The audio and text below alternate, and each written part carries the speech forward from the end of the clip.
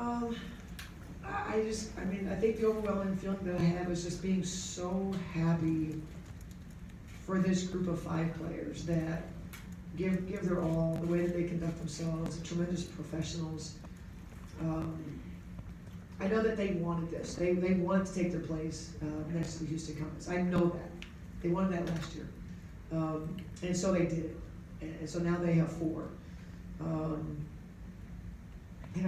it's, it, I mean, it's just a little bit surreal right now. Um, I'm happy we went home for our fans. Our fans were unbelievable. Uh, I would be remiss if I didn't talk about Glen Taylor, Glen and Becky Taylor, who made sure that we stayed in Twin Cities for this finals because you know it wasn't looking good for a while there where we were going to play, and for them to step up, and for our business staff, I mean, to pick up an operation and move over here, uh, for the University of Minnesota to share their facility with us, you know, that's what it is. It's teamwork. It's teamwork. And and you know, at the end of the day, I know all those people who did this for our team. For you know, I mean, we're, we're deeper than the, the first five, but our identity is the first five.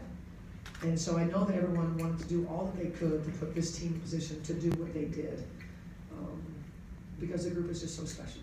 They're so special. I, I just I can't even impart to you how special um, this group is, and, and I hope that you all continue to kind of uh, bestow their, your, your adulation upon them because this is incredible times in Minnesota sports history and obviously WNBA history.